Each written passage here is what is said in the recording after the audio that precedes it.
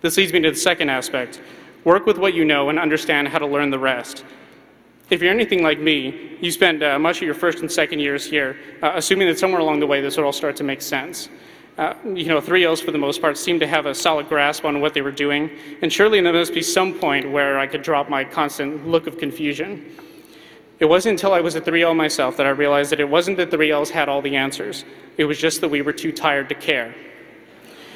After two years of stress and anxiety, we had become used to the fact that things tend to go right over our head. All the anxiety of feeling like I was the only one who had no idea what was going on melted away, but I started to wonder why no one was really talking about it.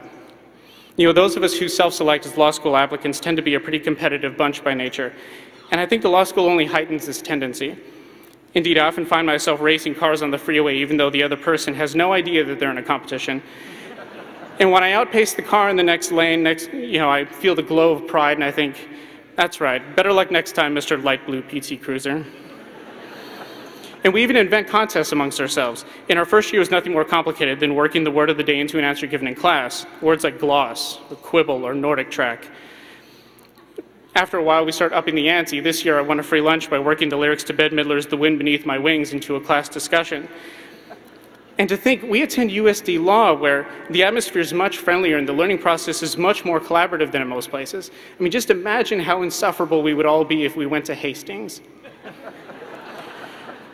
As competitive people, I find that we are reluctant to admit when we don't have the answers.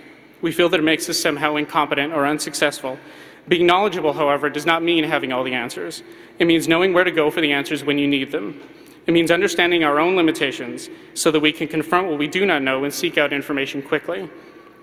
Understanding and being comfortable with not having all the answers is essential because from now on our careers we'll focus on preparing for and handling the unforeseen and the unexpected. After all, it's highly unlikely that a client is going to walk into your office and say that he was in pursuit of a fox when another guy killed it and he'd like to know who owns it. this leads me to the third aspect. Excuse me a second. Thinking responsibly. If flying by the seat of your pants sounds like a danger to others, it's probably because it seems inherently irresponsible. It conjures images of individuals simply making things up and skipping town, the type of behavior we associate with shady individuals like uh, Bernie Madoff or some lighthouse keeper on Scooby-Doo.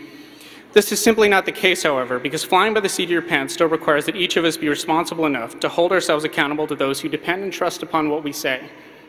Now, depending upon and trusting what we say, that's, that's a new concept for many of us.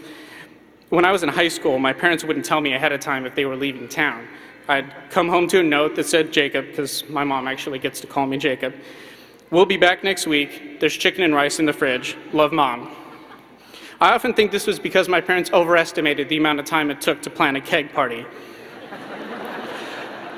But regardless, in spite of the passage of time and my many pleas, my parents still don't tell me about their travel plans. And the reason that I bring this up is that I'd like to point out that the, for the people who've known me the longest, they still don't listen to anything that I say but those who know us in a professional capacity will see us differently. And this can be both exhilarating and terrifying. Though some of us have already entered it, there can be no doubt that from here on out, each of us is entering a level of responsibility in which the well-being of others depends on how hard we work and how dedicated we are. Not every worker carries such a responsibility. My barista at Starbucks can lie to me and say that the maple sausage scone is indeed quite tasty. What does he care? So not everyone has this burden, but at the end of the day, we get to say that our job is to help others, that we are there for people when something profound has occurred, and that our talents make us uniquely situated to change this world for the better. And I do not think that any of us would have come this far if we didn't think that that was more than a worthy trade-off. So the fourth aspect, understand who's there to catch you. And I have absolutely nothing unique at all to say about this. Uh, you know, I, I, listed it because I want to be able to say that my list is comprehensive. But, uh, and also as a reminder that you should thank your significant others because you've been kind of a pain over the past three years. But in the interest of time, I'm going to cut this one short and skip to the last requirement, which is that you endure. Flying by the seat of your pants is going to be difficult and often anxiety causing. As I stated earlier, we are graduating into tough economic times. There's no denying our circumstances. We are that class that is spoken of in hushed tones. Like the class that graduated in the early 90s recession or the dot-com bust graduates, we have become the subject of cautionary tales of New York Times headlines describing non-existent job markets. However, the skills we have learned here have made us optimally prepared for the uncertainties ahead. We have worked long hours. We have studied hard, and we've learned to get through difficult situations with grace. In many ways, at this moment, we have become the best of ourselves. And just as we are a cautionary tale now, so are we legends in the making, because legends are never born of easy circumstance. Legends succeed where prognosticators believe they will fail. Legends find a way where there appears to be none. And for you and for all of us, I hope that you fly by the seat of your pants and find the sort of success that will be legendary. On a final note, I just want to say that I'm going to miss so very many of you. Most of all, I'm going to miss this feeling, never stronger than today, that we were all in something together. These have been rough days, the all or nothing kind of days.